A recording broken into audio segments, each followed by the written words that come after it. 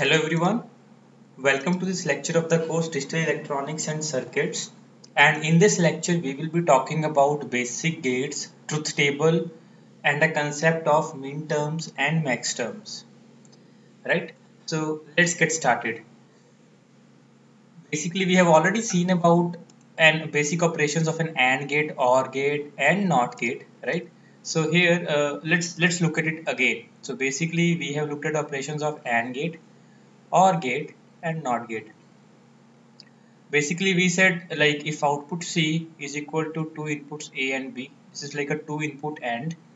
If C is equal to A or B, is a two input OR and NOT gate is like a single input gate where we say C is equal to NOT of A that is tilde of A. Now let's assume this thing. Let's assume uh, we have a AND gate which is a two input AND gate. So basically the two inputs A and B and we have an output over here called C. Basically C is nothing but function of A and B and this is equal to A and B. How do we reach at this particular conclusion of C being equal to A and B? So basically we have a something called truth table through which we capture output and its dependency with inputs. So if my A is 0, B is 0, my output of AND gate is 0. If my A is 0, B is 1, output of AND gate is 0. A is 1, B is 0, output of AND gate is 0 and 1 and 1 leads to 1. So basically this particular table which captures the dependency of output with the inputs is known as truth table. Right? So this is truth table for two input AND gate this is for two input AND gate. Similarly for OR gate we will have something like A B and C. 0 0 0 0 1 1 1 0 1 1 1 1 right? So this is a truth table for a OR gate. And for NOT gate we have A and C. If A is 0 C is 1 A is 1 C is 0 this is a basic concept of a truth table, right? Now let's look at a three input AND gate. So let's assume we have an AND gate which takes in three inputs, right? And generates an output called O. Input is X, Y, and Z. Now if we start writing truth table for this, we will have something like X, Y, Z and output O 0, 0, 0, 0, 0, 1. I'm writing all possible set of input combinations since there are three inputs the number of input combinations would be 2 raised to power 3 which will be 8 so total number of possible input combination is 2 raised to power 8 which is 3 and all the numbers would be from 0 to 7 correct? And what will be the output for this AND gates? Everything will be 0 except this which will be equal to 1 so my output uh, let's assume my output is nothing but is a function say let's say f right so now if I have to complement f, what is f complement? You have usually seen f bar. It will be again a truth table which will be something like 1, 1, 1, 1, 1, 1, 1, 0. This in particular case is not of AND gate and we have a new gate for this which is usually called NAND gate. Right? Now, we have already seen one example in the previous lectures where we said like uh, a simple term, right? If I pick up any number, say x bar plus y, z plus x bar, we know how to complement it already, right? We will use De Morgan's law and what we will simply do is x bar plus y, z plus x bar, x bar, correct? And what would happen is the truth table for this, whatever we make a truth table for this the truth table for this complement would be exactly the opposite one for the f1 right now we have already seen about complementing the expressions in one of the lectures. But let's look at one more example over here right? Let's assume that function of x y and z is nothing but x plus 5 bar into z plus x bar. What would be f complement in such a case it would be something like I will I will write it directly right? It would be something like x plus y bar into z whole bar dot with x bar bar. These are two right? So this will be OR of this. So it will become x plus y bar bar plus z bar dot with x. This will be nothing but x bar dot y plus z bar into x. Correct? So this is how complement works and we saw one example. So basically if we have a truth table for this particular expression what we can simply say that truth table for f complement would be a new column uh, where we would be putting uh, usually inverting all the digits right? Similarly let's see one more example for a three input OR gate. Let's assume we have x y z and we have a three input OR gate. This is output right? So what are the combinations? 0 0 0 0 0 1 0 1 0 0 1 1 1 0 0 1 0 1 1 1 0 1 1 1 OR gate would be something like this will be 0 rest everything would be 1 right? Similarly uh, O bar would be nothing but this thing.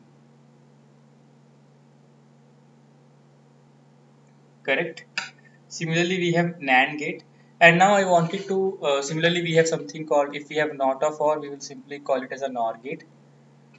We usually represent NOR gate by usually right NOT gate is anyways this is something called as a NOT gate so this is A this is tilde of A A bar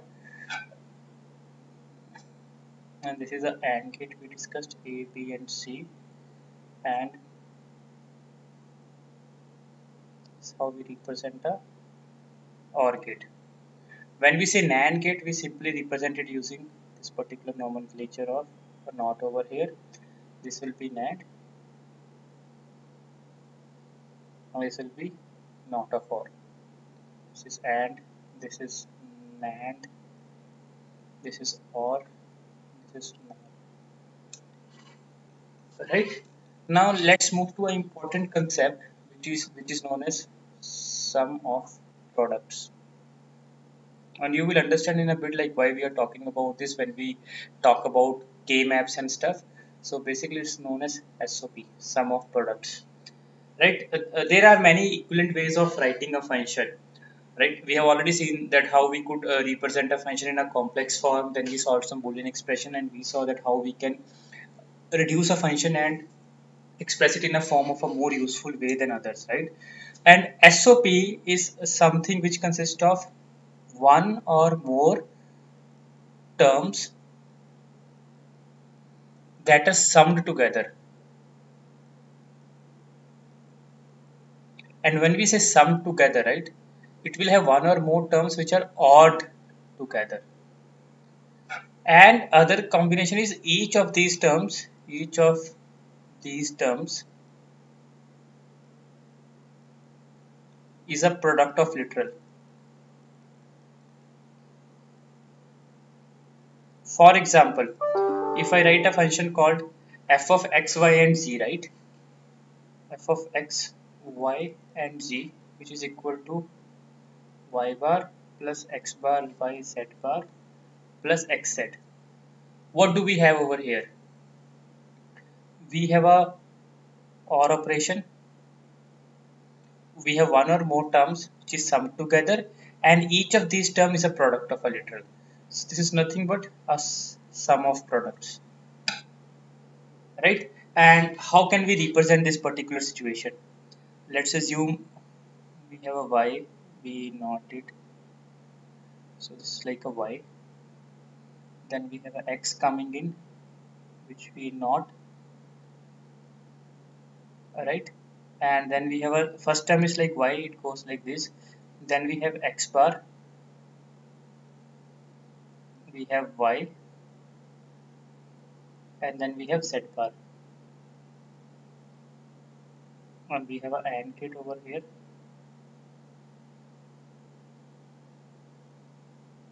And similarly we have X set so basically we will tap a X and set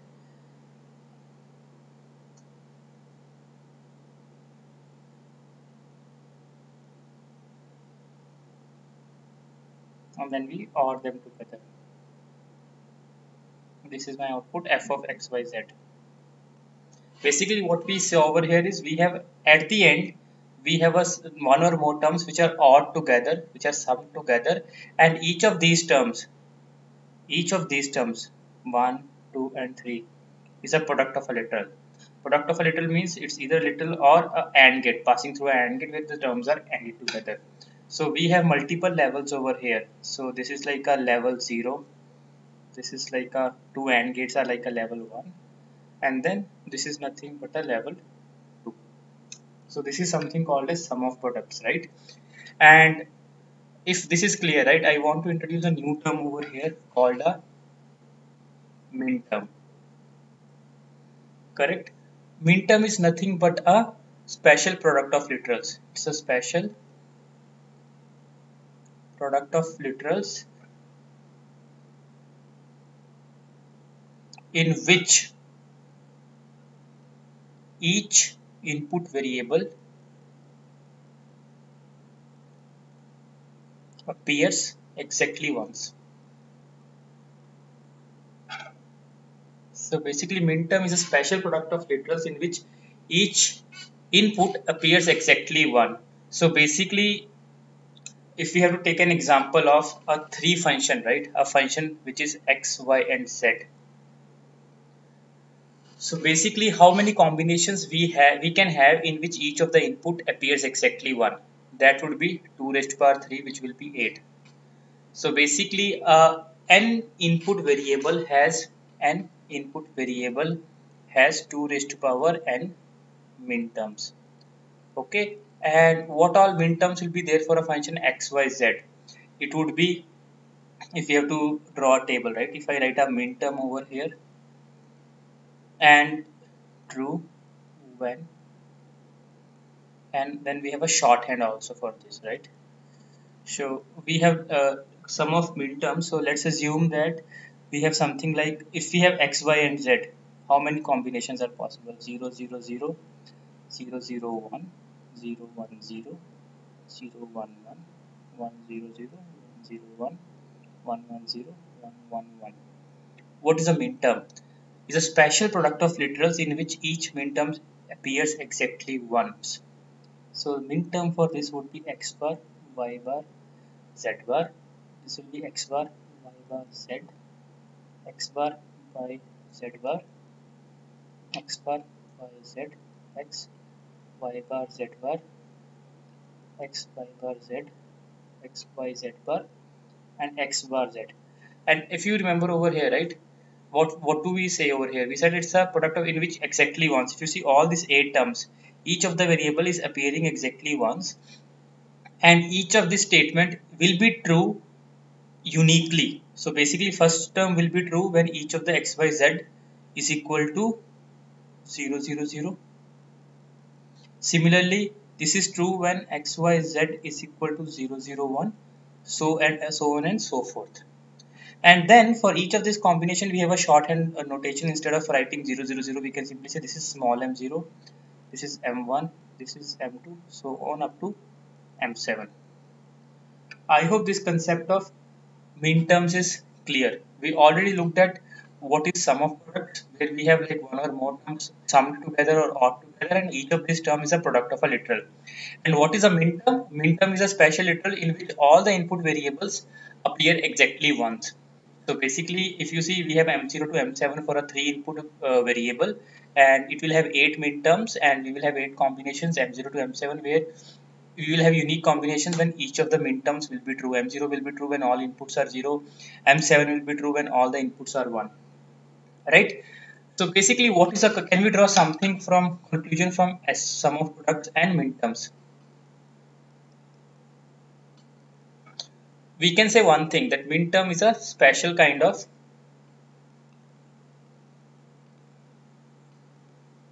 sum of products right? Basically if you say right uh, a min we simply said uh, sum of product is like a multiple literal entries has to be there right? For a sum of product we said there could be multiple literals and each of these terms is a product of different literals. For min terms what we can say is sum of min terms basically if there are multiple minterms sum of minterms is a special kind of sum of products. Correct? Uh, so let's assume an example over here. X y z.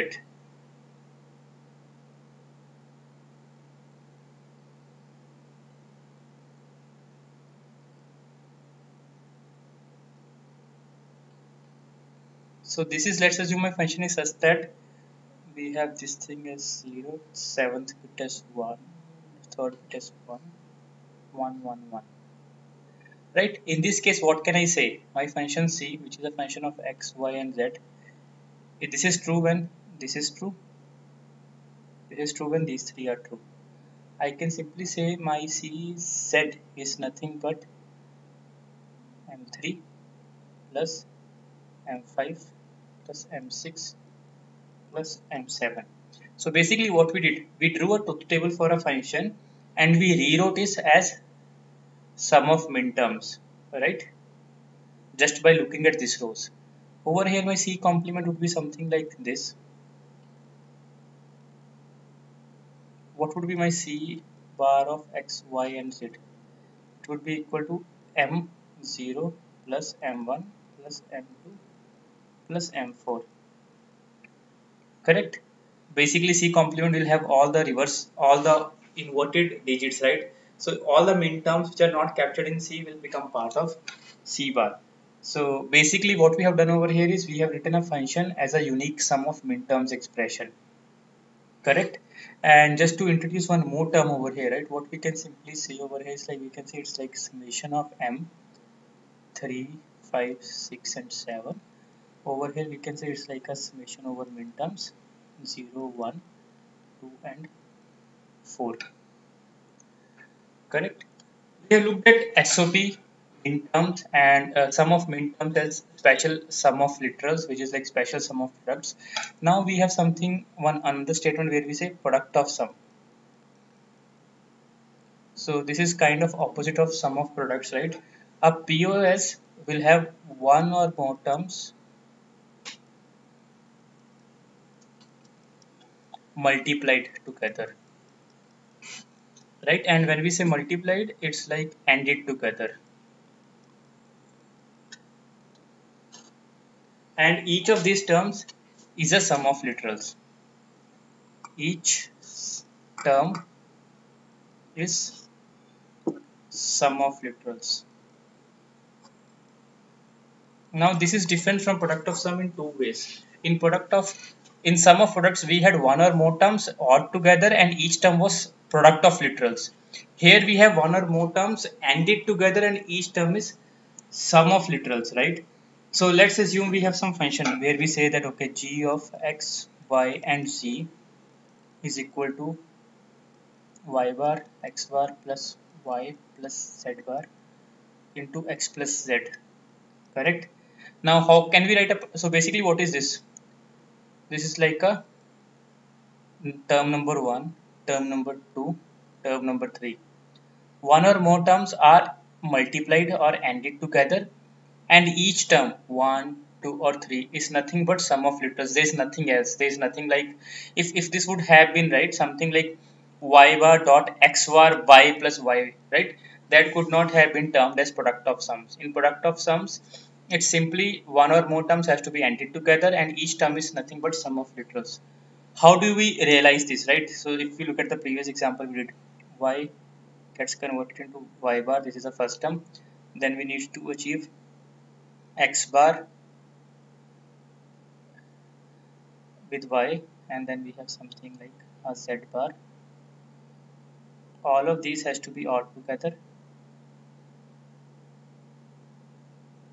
and then at the end we have x plus z. So basically x plus z we will have a OR gate here. And we will multiply all of them together. So basically all of them are ANDed together. This is my g of x y and z. So here as you see we have three levels again. So this is a level 1 level 0 this is a level 1 this is a level 2 level 2 is a product level.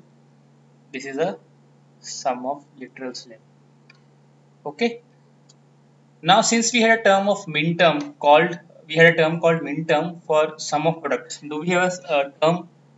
So basically we have sum of products and then we have something like min term. Do we have something similar for product of sums? Yes, we have something similar called max term. Right? And max term, right, is again a sum of literals where each input variable appears 1. A function with n input variables will have 2 raised to power n max terms. That is again similar to what min terms is, right? And basically, but the only thing, only difference between min term and max term is max term is false for exactly one combination of input.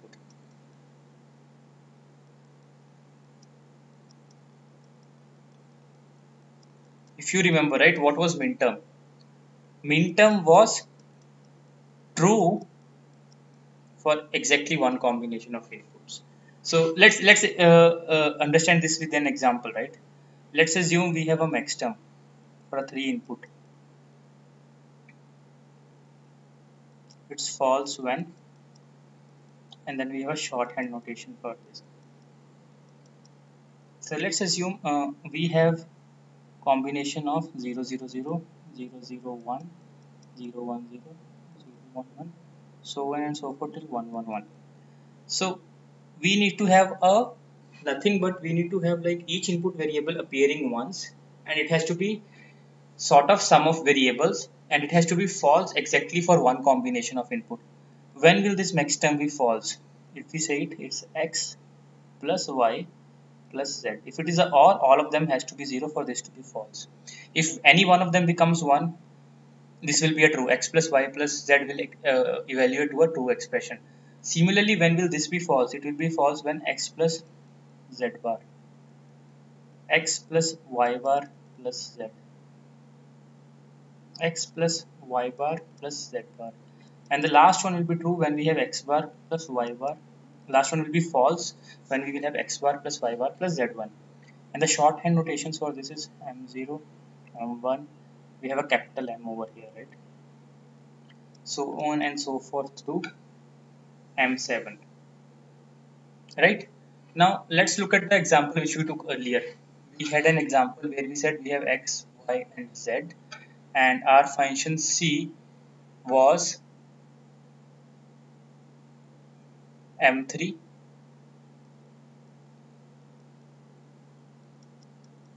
this was our function right? This is what we discussed previously. Whereas c complement became m0 plus m1 plus m2 plus m4 just to write this function right? We had something like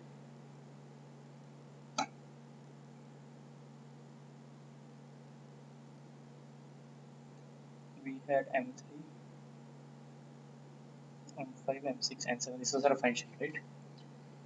Can we write this function as product of sums? Can we do that? Yes we can do that. This is false when for each and every combination right? For a unique combination. And when is this false? When we have combination like simply c as x plus y plus z first one then the second one will be equal to x plus y plus z bar. Third one x plus y bar plus z. And the last one would be x bar plus y plus z.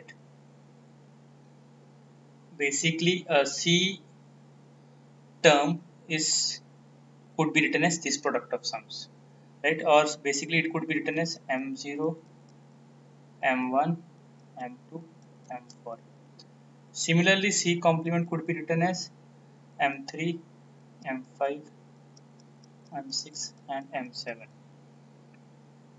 right? So which simply means if we are writing it as a sum of products c would be equal to m3 plus m5 plus m6 plus m7 whereas if we want to write the same expression in product of sum forms c would be the numbers which are not present in the min term. That will be the other ones 0 1 2 and 4 so, so this is the main thing which i wanted you to show you right? So basically it's just like every min term is a complement of the corresponding max term. This is what you see over here.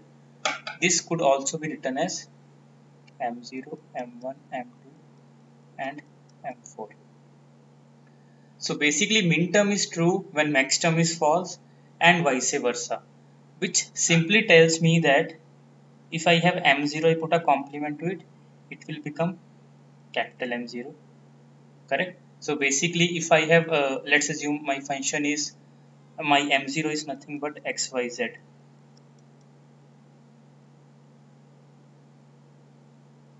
correct? And for this to be true my M0 complement will be what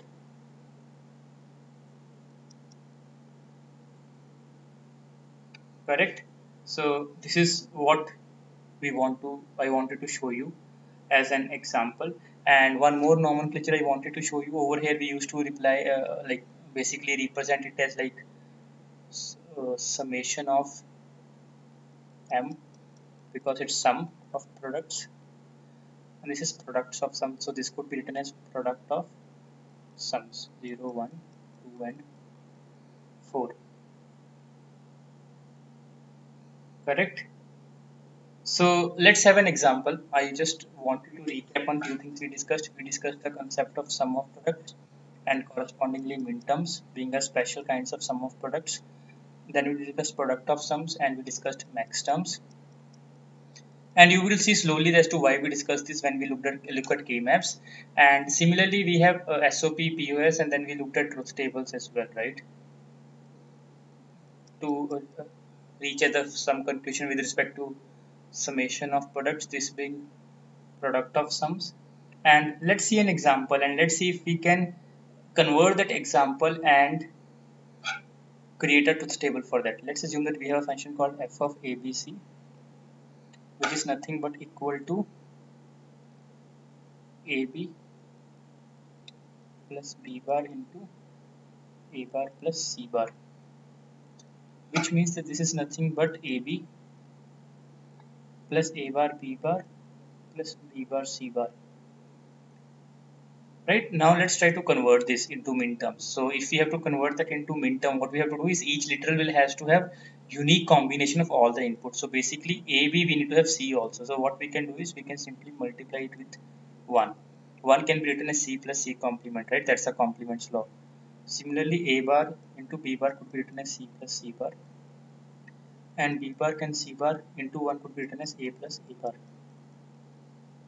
Now if you expand it and open it, this right, this will become something like a bar b bar c bar plus a bar b bar c plus a b bar c bar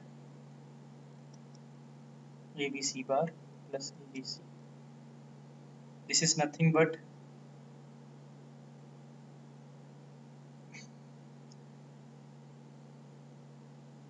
this is like what? Summation of m0 this is like 1 4 6 and 7 right?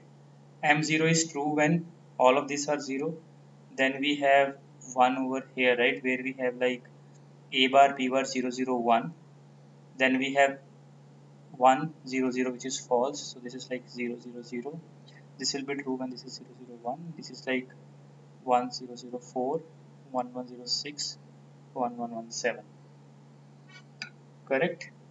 So basically this is something just to tell you a name right? So this is just like we can say this is like a canonical form. So boolean expression expressed as sum of products or product of sums it's just like a canonical form this will be like used multiple places where we want to do logic reductions and look into K-maps. I hope this lecture was useful. Stay tuned for the next lecture, which where we will be discussing K-maps. Thank you.